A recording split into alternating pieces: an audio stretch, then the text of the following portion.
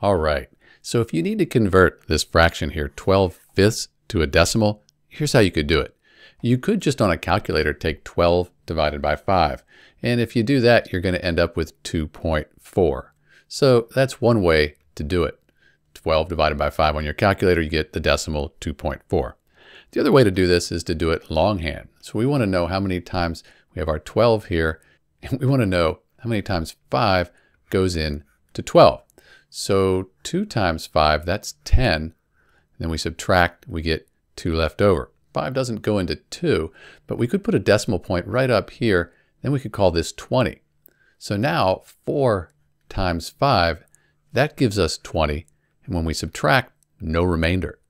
So in answer to our question, the fraction 12 fifths, that is equal to the decimal 2.4. This is Dr. B, and thanks for watching.